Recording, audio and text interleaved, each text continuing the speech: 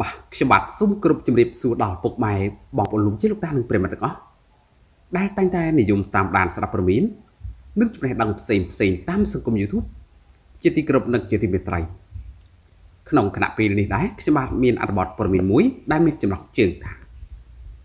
កែវច័ន្ទនិមលដាក់ប៉ុន្មានប៉ុស្តិ៍នេះឃើញពោះរៀបស្មើមើលមិនដឹងថា កំពុងតែពោះពោះសោះដោយអ្នកនាងប្រាប់បែបនេះថា ពិធីករណីពូកែវោហាស័ព្ទអ្នកនាងកែវច័ន្ទនិមល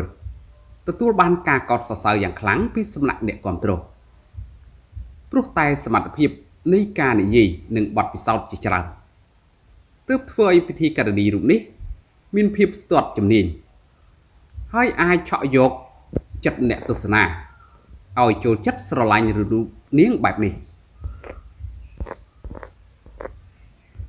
ដោយឡែកកាលពីថ្ងៃម្សិលមិញនេះអ្នកនាងកែវច័ន្ទនិមលបានបង្ហោះរូបភាពលើបណ្ដាញសង្គម Facebook របស់ខ្លួនស្ថិតនៅក្នុងឈុតយ៉ាងស្រស់ស្អាតខណៈពេលដែលអ្នកនាងធ្លាប់បានបង្ហើបប្រាប់ថានៅតែពីខែទៀតអ្នកនាងនិងក្រុមគ្រួសារនឹងទទួលបានសមាជិកថ្មីម្នាក់ទៀតហើយជាក់ស្ដែងកាលពីប្រហែលថ្ងៃមុនអ្នកនាងកែវច័ន្ទនិមលបានប្រកាសថា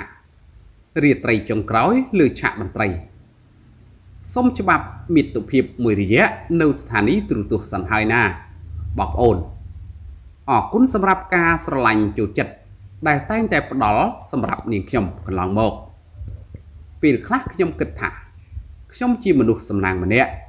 ដែលមានវាសនាទទួលបានការស្រឡាញ់មួយនេះជួបគ្នាវិញបន្ទាប់ពីសម្រាលនិងថែខ្លួនរួចរាល់យ៉ាងណាមិញបើងាកទៅមើលពីរូបសម្រស់ របស់អ្នកនាងខណៈពេលកំពុងតែពពោះកូនទី2វិញនៅតែស្រស់ស្អាតគ្មានបាក់សម្រស់អ្វីបន្តិចទេទោះបីជាពោះកាន់តែធំក៏ពិតមែនក៏អ្នកនាង នៅតែមានសម្រស់ស្រស់ស្អាតដដែលទន្ទឹមនឹងនេះអ្នកនាងបានបង្ហោះរូបភាពលើបណ្ដាញសង្គម Facebook ពិតជាមានភាពតាក់ទាញខ្លាំងណាស់ព្រោះមើលទៅ ដូចជាអ្នកនាង មិនមានផ្ទៃអញ្ចឹង ពុះរៀបស្មើសំជាមួយឈុតយ៉ាងស្រស់ស្អាតថែមទៀតផងអ្នកនាងកែវចាន់និមលបានបង្ហោះសារថាបដូរហើយបដូរហើយលែងសង្វាតថតរូបដូចមុនទៀតហើយសំខាន់ពុរិទ្ធជាវណ្ណរិទ្ធ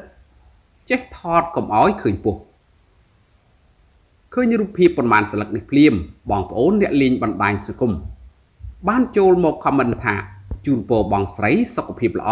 ទាំងម្ដាយទាំងកូនពោះបងចិត្តគ្រប់ខែមើលគ្មានដឹងអីតិចពោះមើលអត់ដឹងសោះបង មើលអត់ដឹងទំងន់ទេណាបងបាទហើយអត្ថបទព័ត៌មានដែលខ្ញុំបាទបាទជម្រាបជូនខាងលើនេះក៏មានតែប៉ុណ្ណឹងសូមអរគុណសូមជម្រាបលា